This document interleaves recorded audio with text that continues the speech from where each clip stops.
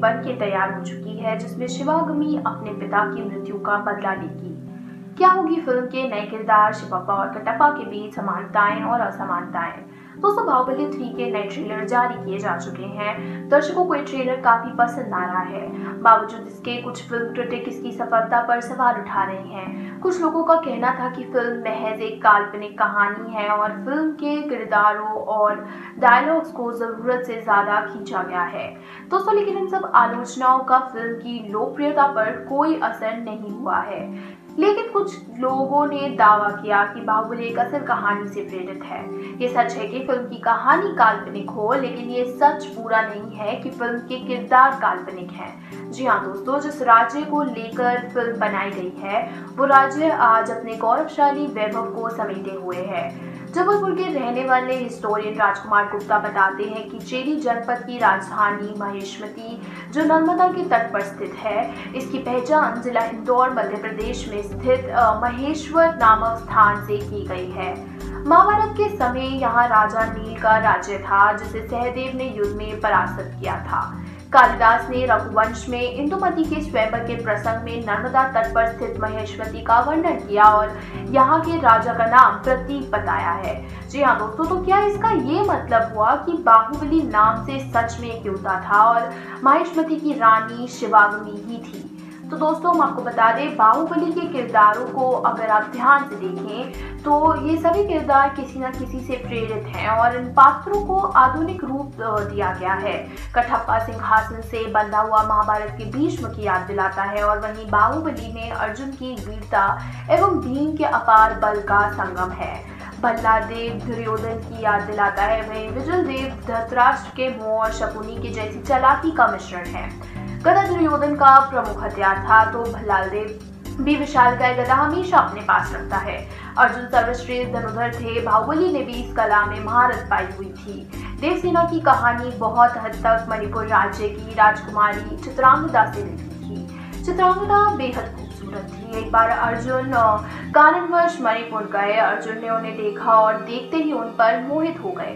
अर्जुन ने चित्रांगदा के पिता और मणिपुर के राजा चित्रवाहन के से चित्रांगदा के साथ अपनी विवाह की इच्छा को ज़ाहिर किया।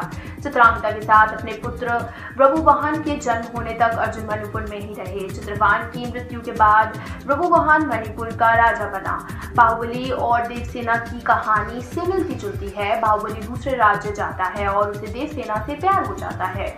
बाहुबली ने देवसेना के पिता के सामने शादी का प्रस्ताव रखा, उन्होंने इसे मान भी लिया।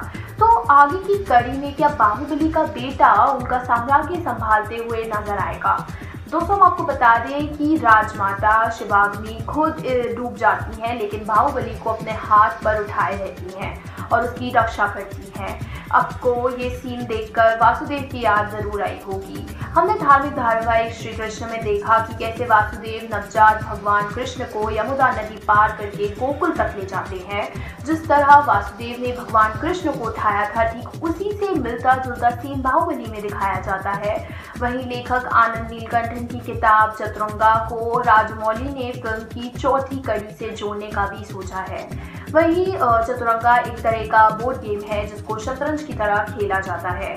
दोस्तों, चतुरंगा के पीछे का विचार था कि कैसे एक महिला पुरुष चालित और पुस्तक वाली दुनिया में प्रतिस्पर्धा करती है। पुस्तक शिवागमी की एक शानदार यात्रा को दर्शाती है और वे कैसे राजा के अधीन उसी राज्य में रहने के लिए जाती है, जिसने उसके पिता को मार डाला।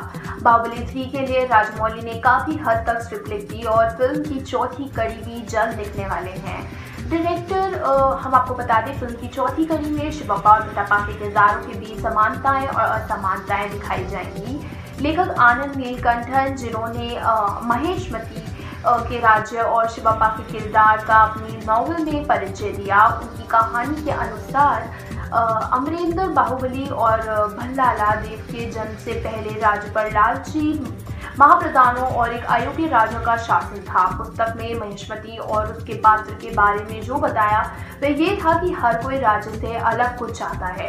अपनी तिजोरियों को धन से भरने से लेकर राजा का अवतरण तक सभी पात्रों की महत्वाकांक्षाएँ अलग थी, लेकिन शिवप्पा अमीर होना नहीं चाहते थे और महिष्मति पर शासन करना चाहते थे। वे सभी स्वतंत्रता चाहते थे। वही कटप्पा ने अपना नसीब राज्य की भलाई और उसकी सुरक्षा में लगा दिया था, जहाँ शिवप्पा स्वतंत्रता चाहता था। वहीं कटप्पा अपने राज्य की सेवा करना चाहता था।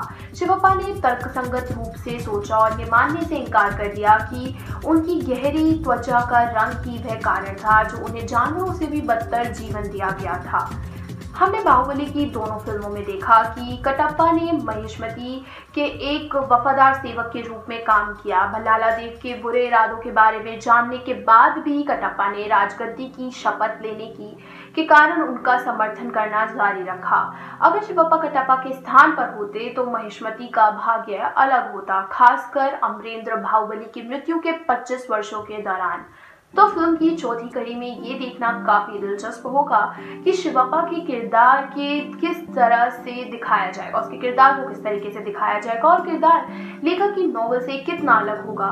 तो क्या आप उत्साहित हैं शिवप्पा और उनके परिवार से मिलने के लिए? और कौन सी नई लहर लेकर आएगी बाहुबली परिवार में रानी शिवगामी? हमें अपने जवाब कमेंट सेक्शन में ज़रूर बताइएगा और अगर आपको आज की वीडियो पसंद आई हो तो इसको लाइक करिएगा शेयर करिएगा। साथ ही हमारे चैनल बॉडीगार्ड को सब्सक्राइब करना ना भूलिएगा। ये स्क्रिप्ट लिखी है सिमरन रावत।